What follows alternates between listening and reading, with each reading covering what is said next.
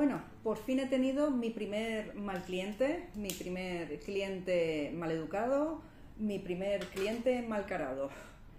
La verdad es que eh, durante estos meses la gente siempre ha sido súper amable, súper agradable. La verdad es que no he encontrado nada, que sí, alguien podía venir más serio y tal, pero lo que me ha pasado, la verdad es que me ha dejado además mal, mal sabor de boca. No, no, no me ha gustado, porque yo creo que las cosas se pueden decir de muchas maneras.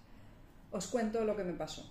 Estaba yo sola en la, tienda y viene un hombre que era un alemán y me dice que si puedo hablar inglés. Le digo que no, no mucho, porque yo chapurreo muy poco inglés y sobre todo si me pongo nerviosa me cuesta más. El hecho es que se notaba que ya venía, mm, no venía eh, de buen talante de entrada. Intenta hablarme en inglés, aunque le digo que no entiendo mucho, y me, y me dice que tiene un pedido y me enseña un papel. El papel estaba totalmente rozado no se veía el nombre del título que había pedido, entonces le digo, ya él venía ya muy sofocado y le digo que se calme un poco y que me enseñe el papel y que se me puede decir el nombre del libro. Eh, empieza ya a ponerse más nervioso, le digo que si no lo puedo entender, que por lo menos, y le enseño el móvil y le digo que me diga el móvil, porque con el móvil yo puedo ver si cuál era el pedido que había hecho empieza a hacer así espavientos y tal, y al final me enseña una tarjeta y, como diciendo ahí, y claro, me enseña un montón de, de números de teléfono larguísimos, y yo pensando, ah, ninguno puede ser el móvil, intento meterlo en la base de datos y no lo encuentro en la base de datos, le digo que, que no, ya se empieza a poner mucho más nervioso. Se acerca a una cliente, la verdad, súper amable, desde aquí se lo agradezco muchísimo, y que me dice que ella puede hablar inglés, que si quiere, que si yo quiero que, que me ayude. Y le digo que sí, que por favor que le diga que necesito su móvil o su nombre completo para poder ponerlo en la base de datos y ver qué libro se trata. Mientras tanto, este señor ya se está empezando a poner nervioso y empieza a decirme que, que a ver si no quiero dar el libro y tal, y al final con el móvil me dice qué libro es, mientras ella le está preguntando, y le digo a ver si lo tengo, lo miro en la base de datos, no estaba, y miro a ver si está. El hecho es que este señor se mete en mi mostrador para mirar donde yo estaba viendo, como no fiándose de mí, cosa que yo le hago así con la mano como diciendo que no se mete en mi espacio de trabajo. O sea, ya se estaba intentando meter en, el mostrador como si yo me quisiera quedar su libro. O sea, no entiendo, como si yo le estuviera intentando engañar. Le digo que el libro no está, que no está en tienda, y él empieza a ponerse ya nervioso diciendo que le habían dicho que era un sábado, diciendo que el viernes ya iba a estar el libro, cosa que lo dudo bastante, sobre todo porque en verano los pedidos tardan más en llegar. Por lo tanto, posiblemente a esta persona no se le diría eso, se le diría que a partir del viernes podría llegar, pero que posiblemente tardará más. Porque, como os digo, normalmente pueden ser de dos a tres días y estaban tardando de cinco a siete días. Empieza ya a ponerse nervioso y me dice, en inglés, que eso sí que lo había entendido, ¿quieres que llame a la policía? Y claro, me quedé mirándola así como diciendo, ¿qué dice? Además a la policía como diciendo que yo no me quiero quedar su libro, pues entonces devuélveme el dinero.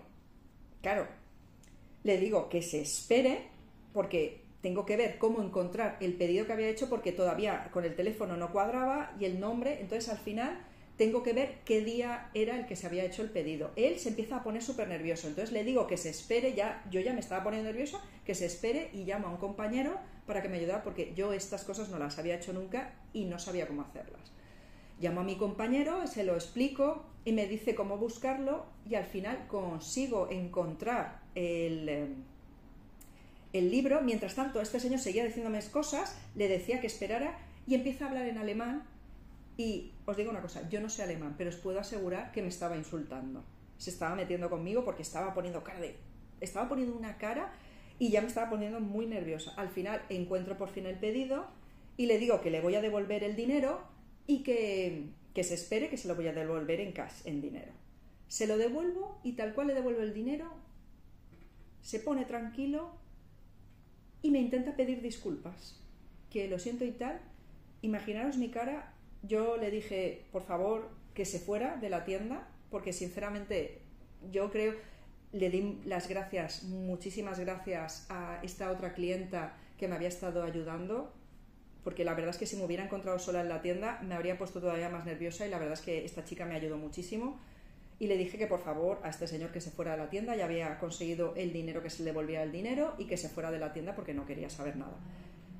Fue una situación francamente horrible, porque es que en ningún momento ni se le estaba intentando esconder el, el, libro, ni se le quería no devolver el dinero. Sencillamente se había encontrado con una dependienta que en estos momentos no sabía cómo se hacía este proceso y estaba intentando ver cómo hacerlo llamando al compañero.